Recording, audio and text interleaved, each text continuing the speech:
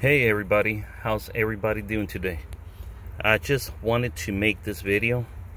I got this 1990 um, Ford Ranger. And I just barely got it yesterday with no keys. I got the title, I got everything though, but I got it with no keys. So I called a local locksmith to see how much he would charge um, to make the keys for this one. You know, it's a 1990. The key is not chipped, nothing like that. Well, this guy wanted 250 bucks. Why? I don't know. Anyways, so what I did, what I did, no, I don't steal cars. I don't do nothing like that, okay? You know, but what I did, I came in here and I removed this little chrome piece that goes right here on the on the side of the ignition switch. Let me see if I can find it somewhere. Anyways, I'll remove the the steering column cover. It's only two screws, two Phillips. They go like right about here on the bottom, one here, one here on the other side. I'll remove that and this guy right here. Oops, I just dropped it again. This guy right here what I did, I used these channel locks, these guys right here, and I just, you know, grabbed it and, you know, twisted down and that piece right there came off.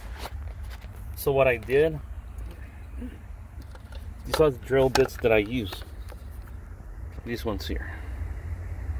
The silver ones, let me go ahead and give you more better view of it these ones here okay so what I did I started with the most not the most thin one but I started with this one right here which is the 316s and what I did I first I actually lubricated right here.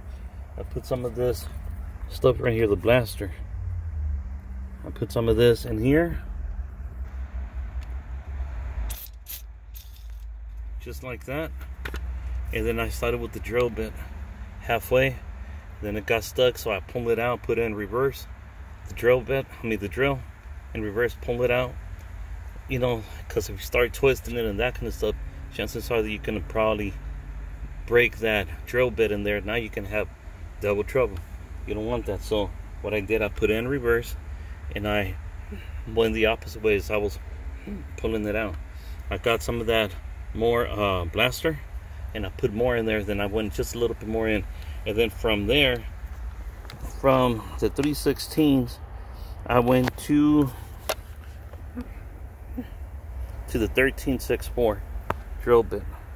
And then I did the same process again.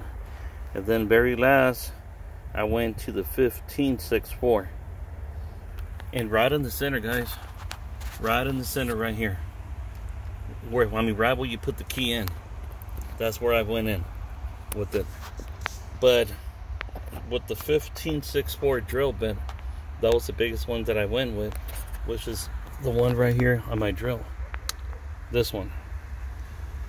As I was going in, I went in straight, and then I started doing this as I was, you know, going with the with the drill drilling it. I started doing this back and forth just a little bit. So that way the tip of it could actually catch where the little T's are, you know, inside of the cylinder. And sure enough, it came out. This is what came out right here. These little guys right here. As you can see, you see it has two holes. Let me try to aim it. Right there. There's one right there, there's one on the other side. These guys, they were in there. So they came out by itself. I grabbed it with some vice grips, pulled it out. I've got the screwdriver, a flathead. Where's it at? Here it is. This one here. And of course I've got my jumper. My jumper is plugged in right now. And here it is.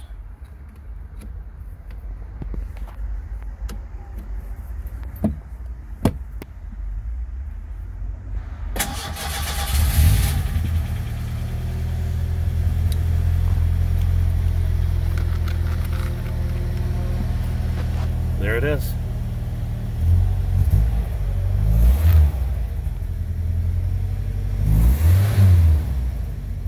There it is, guys. So, just remember, remove that little plastic piece. This right here is either chrome, some cars they have it black. Remove that with some channel locks. Get some WD-40 or some sort of lubricant. Put it in here. Go with a drill bit that it's going to be a little bit more bigger than the hole, but not too much. because you want to get, you know, you want to start little by little.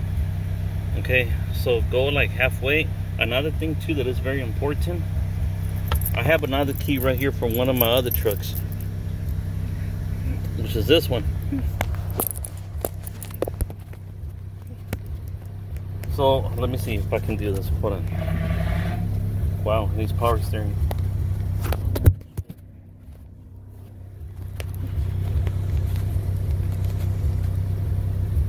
So what I did, I did this. I got the drill bit and I got this key, right? Then I put it, I lined it up like this because you don't want to go too far in where you're to damage more of the inside of the ignition switch.